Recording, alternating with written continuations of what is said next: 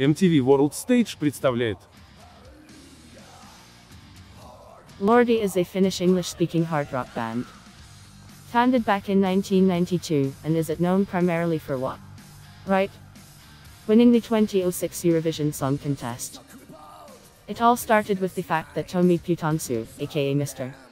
Lordi, a musician and chairman of the fan club of the hard rock band KISS, decided, inspired by his idols, to create a musical group, he came up with the concept of Lordi in 1992, and in 1993 he recorded a solo demo album Napalm Market, which was really never released.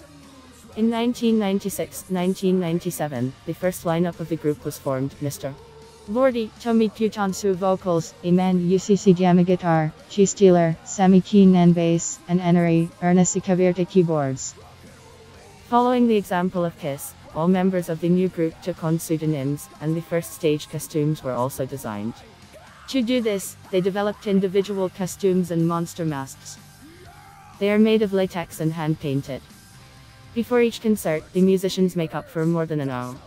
Each image created by the musicians is unique. In the event of a change in the composition, the new member does not inherit the old image, but receives a new alias and a new mask.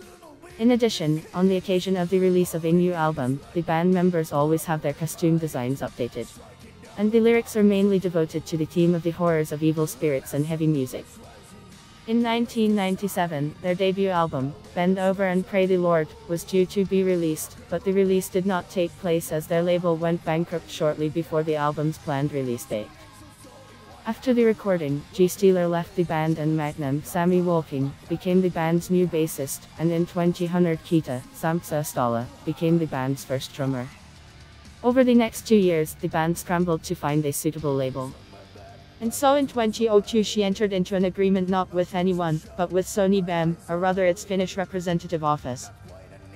It immediately bore fruit. Already on November 1, on Halloween night, the band's debut album Get Heavy was released. This rather dynamic and varied album dedicated to monsters, vampires, demons, as well as the praise of rock music, shot throughout Finland to reach the top positions in the charts. Almost immediately after this, the group took up an active concert activity, performing solo in Finland and as an opening act for the then more famous bands Nightwish, and Amorphis in Europe. Strike while the iron is hot. Surely this is what Lordi was guided by and, having concluded an agreement with the eminent Finnish music producer Hiili Hiilesmaa, they released their second album The Monsterican Dream in 2004 which had a heavier sound than the previous one and contained darker themes in the lyrics.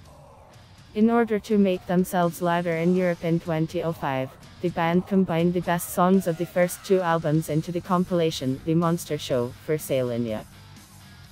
After that, the band underwent further lineup changes. New keyboardist Awa, Leena Peisa, and bassist Ox, Samer El Nahal came, who replaced Kalma a few days before the group was invited to Eurovision. In 2005, Mr. Lordi received a call from the Finnish selection committee for Eurovision and offered to choose two songs from the new album The Arockalypse that could represent Finland in the competition. The band chose the songs bringing back the balls to rock and hard rock Hallelujah, the latter by the majority of Finnish TV viewers, and voted in the semifinals. In the final of the qualifying competition, Lordi successfully won the audience vote and were selected by the representatives of Finland for the Eurovision Song Contest. For the first time in history, Finland, a country with a rich tradition of rock music, was represented by a rock band. However, Lordi's election caused a scandal. Some Goes called the group satanic for its image and lyrics. In addition, Lordi had financial problems with the delivery of expensive equipment and pyrotechnics to Greece, where the final of the Eurovision Song Contest took place. Fortunately, we managed to solve them in time.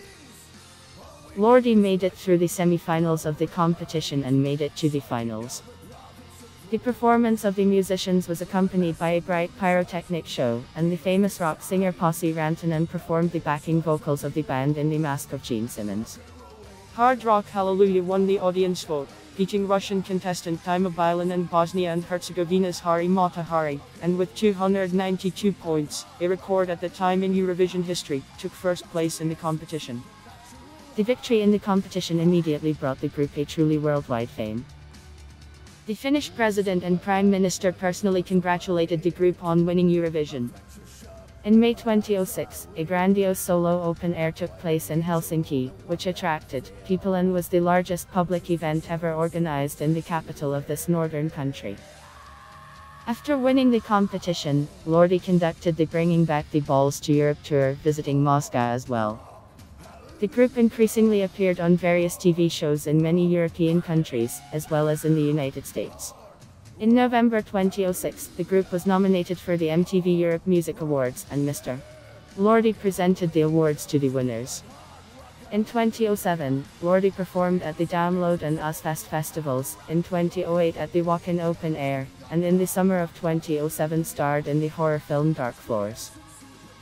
All this was good and wonderful, but it seems to me that after such a resounding success, the group nevertheless went into circulation. After winning the Eurovision Song Contest, she has already released six albums, but they all turned out to be rather primitive and monotonous, and it is quite difficult to single out something significant and memorable. The group again underwent changes, both forced and planned, but this did not reflect for the better either in the quality of the music or in its diversity. Although the fans like it, otherwise the concerts would be empty, and the work on new records would not pay for itself. Thank you for watching this video to the end.